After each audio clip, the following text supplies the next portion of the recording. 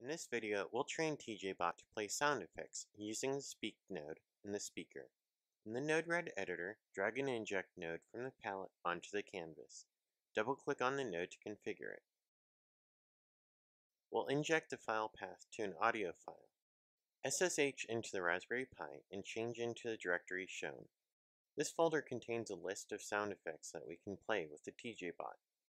Copy the folder path into the payload value back in the inject node. We'll use a sound effect of a female laughing. Use a file laugh-female.wave. Give the node a name, laugh. Drag a speak node from the palette onto the canvas. Double-click on the speak node to configure it. Select English US dialect from the Speak drop-down menu.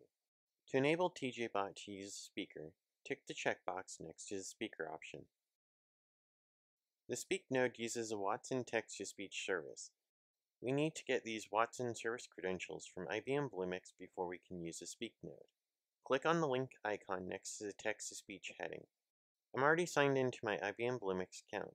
Create your IBM Bluemix account at bluemix.net. Click on Create to create the Watson text-to-speech service instance.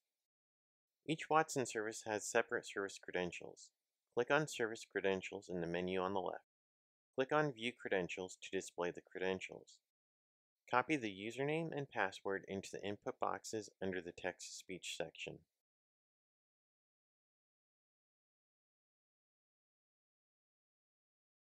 If you're using a USB speaker or USB audio adapter, SSH into the Raspberry Pi and run the command aplay-l. Look for the USB audio device. In this example, it's card 2. There's one sub-device, device 0. Return to the Node-RED editor and change the speaker device ID value to plug HW colon 2 comma 0, where the first number is a card number and second is a device number. The Speak node has a couple of modes, speaking text using the Watson text-to-speech service and playing an audio file. Select Play from the Mode drop-down menu. Connect the nodes together. Click on the Deploy button in the top right corner of the Node-RED editor.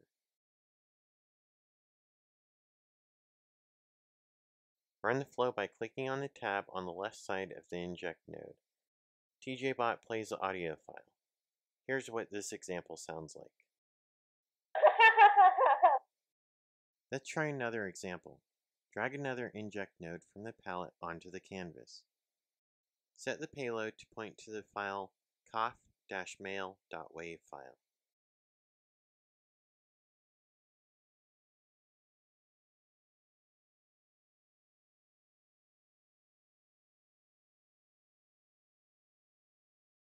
Give the node a name Connect the nodes together. Click on the Deploy button in the top right corner of the Node-RED editor.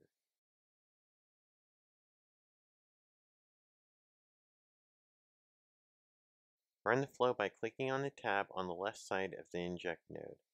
TJBot plays the audio file. Here's what this example sounds like.